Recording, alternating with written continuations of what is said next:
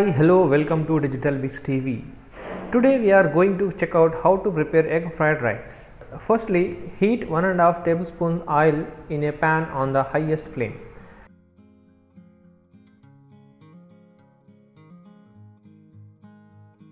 Beat the egg and mix it well in a glass or bowl.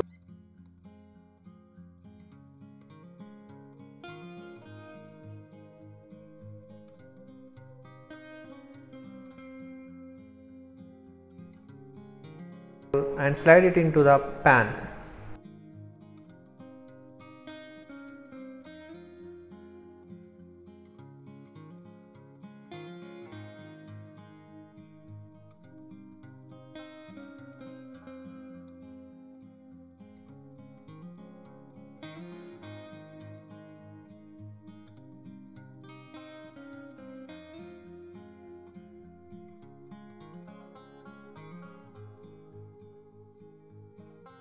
Add onion, carrot and coriander leaves and mix it well.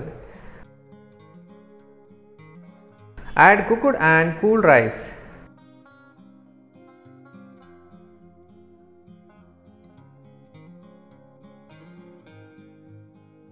Then add salt and chili powder as per your requirement.